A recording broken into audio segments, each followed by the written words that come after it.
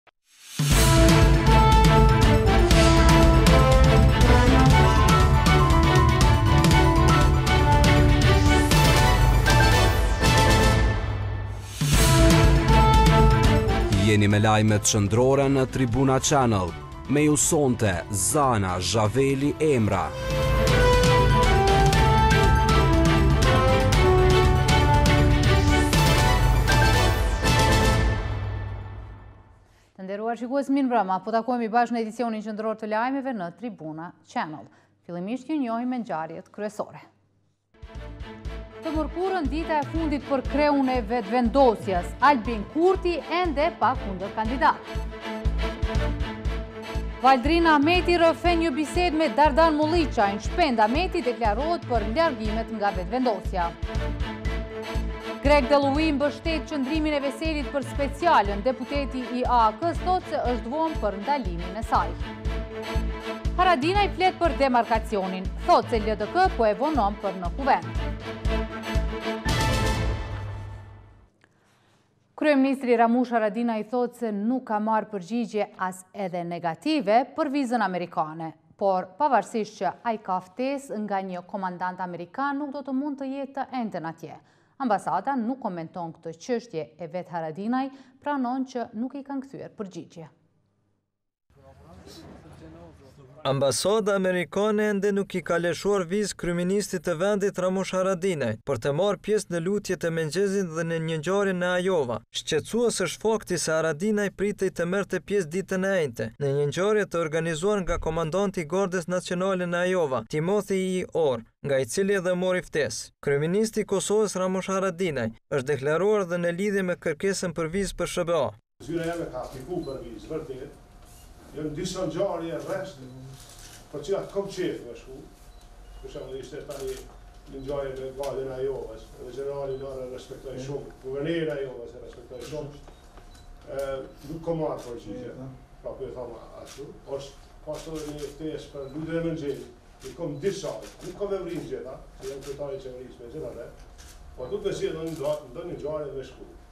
Fort më jaftë shkoj. Kurse zëdhënësi i ambasadës amerikane në Kosovë, Richard May, në një përgjigje të dhënë për Tribuna Channel, nuk ka dashur fare të komentojë këtë. Ambasada nuk komenton raste individuale të vizave për shkak të ligjeve tona të privatësisë të të dhënave. Të kontaktuar nga Tribuna Channel, kabineti i kryeministrit thonë se nuk ka asnjë ndryshim në lidhje me këtë çështje. Ndryshe, Tribuna Channel mëson se është dërguar një listë me emra për aplikim për viza në Amerikë. Katër prej tyre iu janë dhënë vizat, e të tjerët janë lënë në pritje. Zërat për shfuqizimin e Gjykatës Speciale janë rralluar. Si duket, krerët vendorë po e pranojnë realitetin dhe po i marrin seriozisht vrejtjet e ndërkombëtarëve. Pohimin e Kadri Veselit, se kjo gjykatë nuk mund të ndalet, e ka përshëndetur sot ambasadori Greg Delawie. Edhe nga AAK po e pranojnë se shfuqizimi nuk po mund të bëhet.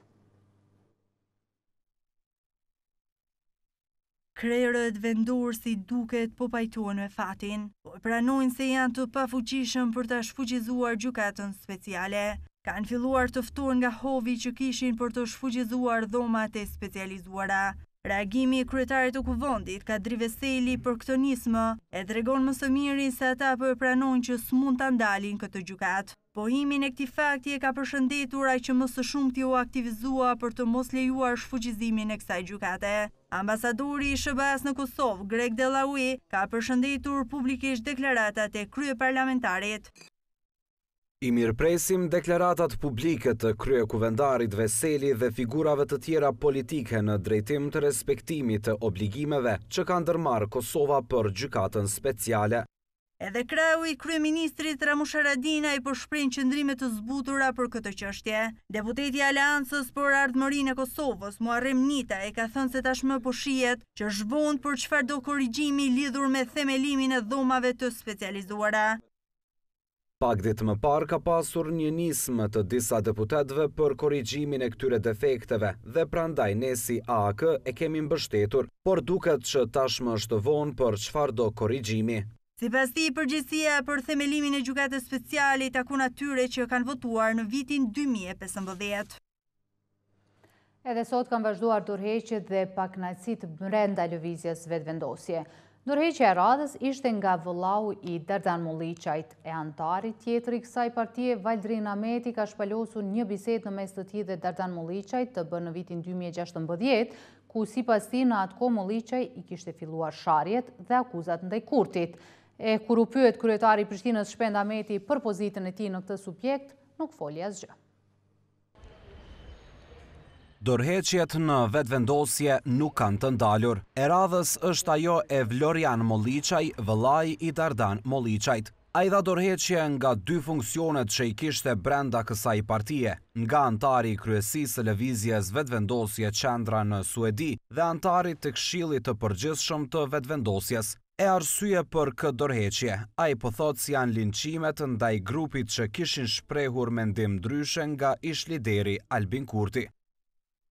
Diktatet që po tentohet të instalohen në lëvizje dhe në qendrën tonë në Suedi, linçimet ndaj shumë personaliteteve të lëvizjes vetëm e vetëm pse kanë mendime ndryshe, si dhe tendenca për ndërtimin e kultit të një individi për mua janë të papranueshme. janë diçka që as s'e kam menduar që do të ndodhin ndonjëherë në shtëpinë tonë të madhe, pra në Lëvizje.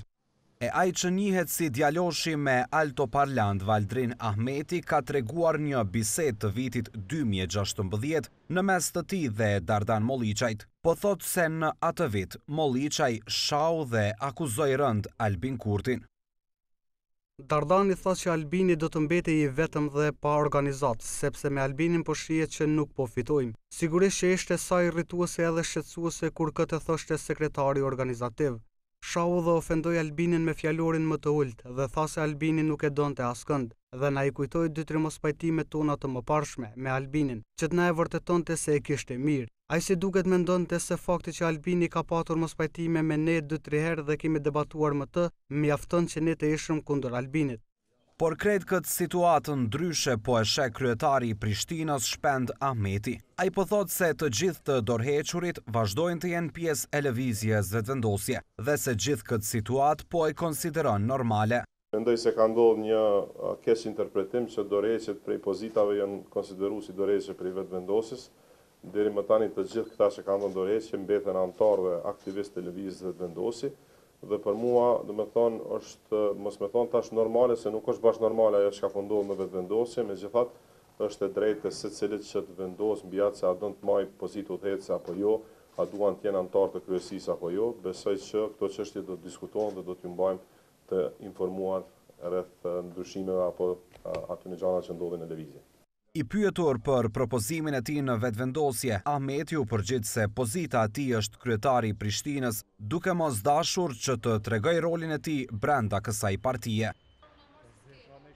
E lajmi i fundit që sapo ka arritur tregon se kryetari i Komunës së Kamenicës, Qëndron Kastrati, ka dhënë dorëheqje nga Këshilli i Përgjithshëm dhe të gjitha pozicionet drejtuese në strukturat e Lëvizjes Vetëvendosje. Ai ka thënë se Vetëvendosje po kalon nëpër një periudhë të vështirë dhe se atmosfera që po mbretëron thotë se është e pra, papranueshme. Vlerëson se sharjet e fyerjet midis tyre nuk i kontribuojnë zgjidhjes së problemit. Së paku ata po dorëhiqen dhe dorëheqja meriton respekt.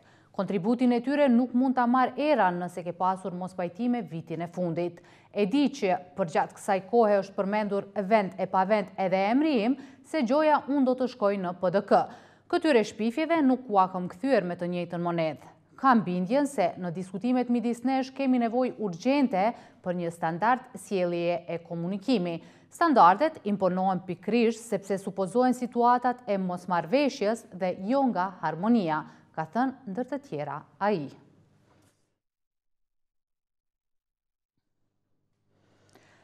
Ndërkohë me 10 janar është dita e fundit kur mund të dorëzohen kandidaturat për kryetar të Vetëvendosjes. Vetëm e Albin Kurtit është zyrtare deri më tani. Nuk dihet nëse do të ketë kundërkandidat, por analistët vlerësojnë se nëse ndodh do jetë sa për të thënë se ekziston demokracia e brendshme dhe e shohin fitues kundër secilit kandidat të mundshëm. Jo vetëm dorëheqjet janë problem në lëvizjen Vetëvendosje. Deri të mërkurën pranohen kandidaturat për të parin e këtij subjekti. Deri më tani askush nuk ka guxuar ta bëjë këtë hap. Vetëm Albin Kurti ka kandidaturën zyrtare. Analistët vlerësojnë se edhe nëse do të ketë kandidat tjetër do të bëhet sa për të bindur të tjerët se ka demokraci të brendshme. Njohësi i çështjeve politike, Muhamet Kelmendi deklaron për Tribuna Channel, nëse do të ketë ndonjë kundërkandidat, Kurti. Po unë mendoj që mund të paraqitet ndonjë kandidat tjetër i Vetëvendosjes në kuptimin e demokracisë së brendshme për të treguar se ekziston një konkurrencë, por në kushtet aktuale të ofruara dhe që ka Vetëvendosja, mendoj se kushtet dhe rrethanat më të përshtatshme dhe më adekuate janë që edhe do të jetë ashtu që Albin Kurti do të zgjedhet kryetar. Njerëzit e cilët kanë mundur me qenë në nivelin e Albinit për të qenë konkurrent, vetëm kanë dhonë dorëheqje për shkak të pikëpamjeve të tija, të tyre politike, ideologjike, e tjera, tjera, dhe nuk mendoj se do të ketë një njeri, edhe në qoftë se paraqitet, që do të jetë adekuat me Albinin, në nivelin e Albinit, dhe të bëjë konkurrencë në kuptimin e zgjedhjes si kryetar i ardhshëm të Vetëvendosjes. Ndërsa analisti Fadil Lepaja thotë se zoti Kurti është një kandidat i pakontestueshëm dhe ka shumë mundësi të mbetet kandidatura e vetme. Ai thotë se Kurti kandidaturën e ka bërë pasi ka parë rrymat e ardhura në Vetëvendosje sa për elektorat dhe me ardhjen e tij rifitohet sërish uniteti. Nuk mendoj se dikush nga kjo përbërje do të dalë kundërkandidat i zotit Kurti. Unë mendoj që më tepër do të bëhet fjalë për një kompromis në kuvend, të cilin do duhej ta afronte vetë zoti Kurti. Përndryshe, çfarëdo kandidature tjetër që do të kishte gjasa me rrezikue pozitën e Kurtit, si kryetar i ardhshëm, do ta çonte Vetëvendosjen në një përçarje të madhe. Gjatë kohës sa Albin Kurti ishte në paraburgim u shfaqën në publik problemet e brendshme të kësaj partie. Por ishte një grup që dorëzoi nënshkrime për kandidaturën e Kurtit si kryetar. Kryeministri i Kosovës Ramush Haradinaj e ka bërë fajtore Lidhjen Demokratike të Kosovës për zvarritje të qëllimshme të procesit të shqyrtimit dhe votimit të marrëveshjes për demarkacionin e kufirit me Malin e Zi në Kuvendin e Kosovës. Haradinaj ka kritikuar deputetët dhe sidomos Komisionin për Punë të Jashtme, ku aktualisht ndodhet në shqyrtim projektligji për demarkacion. Unë kam kritikuar dhe ende sot them pse po vononi, vendosni, ka deklaruar Haradinaj pas një takimi që e ka zhvilluar me kryetarin e Komunës së Prishtinës, Shpend Ahmeti.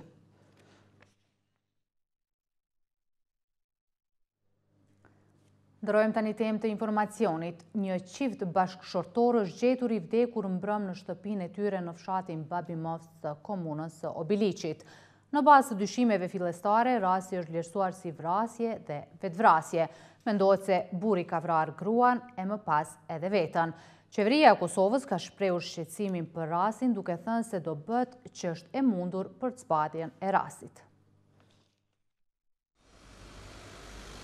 Një çift bashkëshortorë janë gjetur të vdekur mbrëmë në shtëpinë e tyre në Babimovc të Obiliqit. Dyshimet e para sipas Policisë së Kosovës dërgojnë drejt një vrasje e më pas vetëvrasjes. B.M. pesëdhjetë vjeçar ka ngulfatur fillimisht gruan e tij G.M. me një litar e më pas ka therrur veten me një thikë e cila është gjendur pranë tij. Nga informacionet fillestare që posedon policia, ekziston dyshimi i arsyeshëm se i dyshuari vuante nga probleme psikike për një periudhë të gjatë. Ky version mund të përforcohet apo të ndryshojë pas autopsisë, ekzaminimit të dëshmive të marra nga vendi i ngjarjes dhe rezultatit të hetimeve që po zhvillohen. Në vendin e ngjarjes janë intervistuar dëshmitarët, janë testuar të gjitha dritaret të cilat kanë qenë të mbyllura, e gjithashtu edhe dera e shtëpisë ka qenë e mbyllur. Supozohet se nuk ka pasur hyrje të dhunshme në shtëpi deri në momentin e hyrjes nga dëshmitari.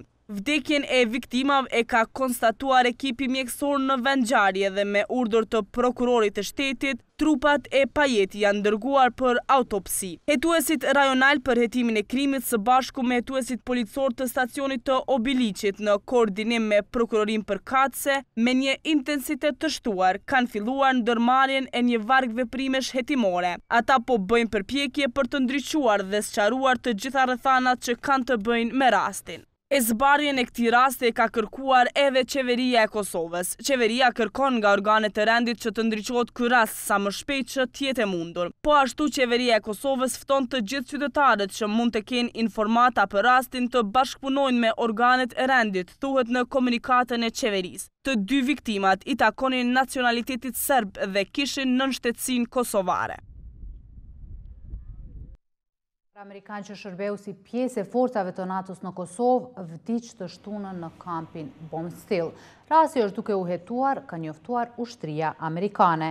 Robert W. Jones, njëzet e një vjeç nga Vail, Arizona, ishte pjesë e Batalionit të shtatëqind e nëntë të Policisë Ushtarake të Brigadës së tetëmbëdhjetë. Sipas komunikatës së lëshuar për opinion, ku citohet komandanti i Batalionit të Policisë Ushtarake, nënkoloneli Jeffrey Searle, thuhet se Jones ishte një ushtar shumë i shquar. Ai iu bashkua ushtrisë amerikane në gusht të vitit dy mijë e pesëmbëdhjetë dhe ishte dekoruar me disa medalje duke përfshirë edhe medaljen e NATO-s në Kosovë.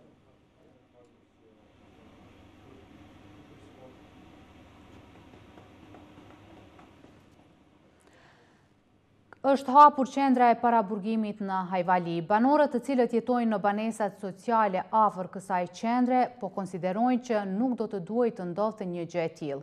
Pikërisht për shkak të fëmijëve, avokatët po e konsiderojnë si joligjore e një gjë të tillë kundërshton drejtori i burgjeve Sokol Zogaj. Rahim Bujupi, banor në banesat sociale në Hajvali, hapjen e qendrës së paraburgimit nuk e vlerëson të duhur. Sipas tij, afërsia e objekteve tjera me këtë qendrë do të sjellë probleme. Nuk o në rregull se këtu ka fëmijë, ka të ri, ka policia vijnë me kerre, jo e çunë policë, jo erdhë burgosit, jo senet, gjithë janë në qatë panik. E njëjtë mendojnë edhe banorët tjerë. Nuk është mirë me kon këtu bash afër banesave, janë fëmija e vogël, tutën, janë të shku në shkollë. Është shumë e keqe për shkak fëmijëve. Fëmija këtu pranë burgut, lëvizjet e gardianëve dhe të policisë me të burgosën lidhun. E edhe një fëmijë po ashtu banor i këtij vendi thotë se nuk ndihet mirë kur kujton që çdo ditë do të shohin të burgosurit dhe policinë afër tyre. Tuj na bo pamje kanjëherë prej ballkonit muj na mi bo poshtë. E kjo është pamja që do ju servohet fëmijëve nga ballkonët e banesave.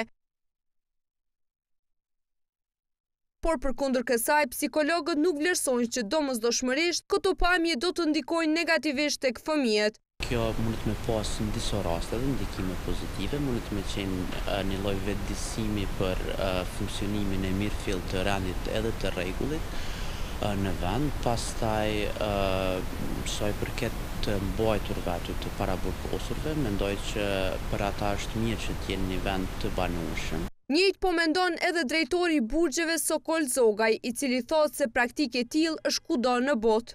Por mendoj që nuk ka ndonjë problem. Aty është ndërtuar një qendër e paraburgimit me një kapacitet prej treqind vendeve, do të thotë me standarde evropiane, paraburgosurit që vijnë aty apo të burgosurit që i quajmë na, ata do të kenë mundësi që të akomodohen dhe të kenë të gjitha kushtet Një gjë të tillë kundërshton avokati Skender Musa. Detyrimisht ndikon edhe te familjarët që janë afër qendrës së paraburgimit, mirëpo edhe te vetë njerëzit që vuajnë ato dënimet ose që ndodhen në masën e paraburgimit. Zakonisht qendrat e paraburgimit dhe qendrat e vuajtjes së dënimeve duhet të jenë jashtë vendbanimeve, Kjo qendër e paraburgimit ishte planifikuar të hapej në shtator të vitit që lamë pas. Zogaj tregon për Tribuna Channel pse u shty deri në vitin dy mijë e tetëmbëdhjetë. Ajo nuk është me fajin tonë, kanë qenë disa se burgun e Prishtinës e ka menaxhu MAP-i, Administrata Publike, edhe kompania sigurisht ka pas probleme rreth ndërtimit, mirëpo ja në fund Ministri e preu shiritin. Në Kosovë ekzistojnë gjashtë qendra të paraburgimit, kjo që po flasim në Prishtinë, një në Prizren, një në Pejë, një në Gjilan, pastaj një në Mitrovicë dhe një në Lipjan. Ka dështuar të mbahet seanca e shqyrtimit kryesor në rastin ndaj Azem Sylës dhe 38 personave të tjerë. Shkas është bërë ndërrimi i trupit gjykues. Gjyqtarja që ka qenë vendase në panel është avancuar në Gjykatë të Apelit. Ne jemi duke pritur përgjigje nga Këshilli Gjyqësor i Kosovës sepse gjyqtarja Nora Bllaca nuk mund të jetë më pjesë e panelit, por KGK-ja ende nuk ka vendosur, ka thënë Arkadius Sadek, kryetari i trupit gjykues. Në rastin Toka, Azem Syla dhe të tjerët akuzohen për krim të organizuar që ka të bëjë me tjetërsimin e pronave shoqërore në Veternik dhe Llapnasellë. Pos ish-deputetit të PDK-së dhe ish-komandantit të UÇK-së, të akuzuar janë edhe Shaban Syla e Fahredin Gashi, të dënuar në rastin Bllaca. Të akuzuar ka edhe qytetarë serbë. Tjera pika të aktakuzës përfshijnë shpërlarje parash, dhënie dhe marrje ryshfeti, nxjerrje e kundërligjshme e vendimeve gjyqësore e vepra të tjera. Azem Syla gjendet në paraburgim për këtë rast. Nëse KGK-ja merr vendim për anëtarin vendor të trupit gjykues, seanca e radhës mbahet javën tjetër.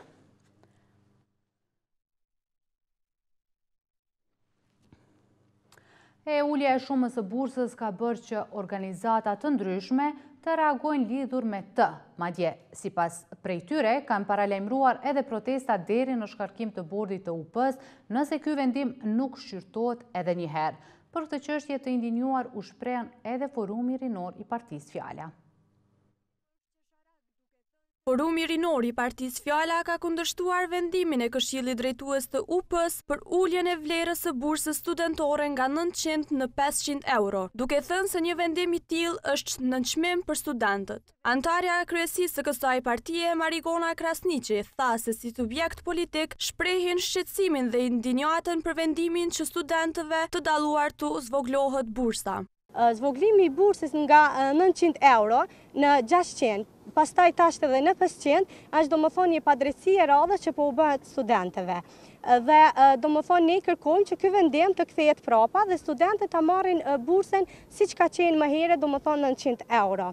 Ne si Fjala propozojmë që Qeveria ta mbështesë arsimin në Kosovë dhe përmes Ministrisë dhe përmes Ministrisë së Arsimit duhet mbështetur Universiteti i Prishtinës. Qeveria në vend të buxhetit që po i shpenzon për rritje të pagave të kabinetit qeveritar duhet domethënë që këtë buxhet ta akolojë në arsim. Vendimin e Këshillit Drejtues të UP-së për uljen e vlerës së bursës studentore nga nëntëqind në pesëqind euro e ka kundërshtuar edhe organizata studentore Reforma gjatë ditës së djeshme. Ndërsa ditë më parë kryeministri i Kosovës Ramush Haradinaj kishte takuar disa studentë bursistë ku u kishte premtuar se nuk do të zvogëlohen bursat. E të njëjtin qëndrim e ka dhënë edhe ministri i Arsimit, Shkencës dhe Teknologjisë Shyqyri Bytyqi. Shikues të nderuar, këto ishin të gjitha informacionet e përgatitura enkas për këtë edicion lajmesh. Menjëherë pas përfundimit të këtij edicioni mund të ndiqni emisionin sportiv Arena, ndërkohë për më shumë informacione vizitoni webfaqen gazetatribuna.com.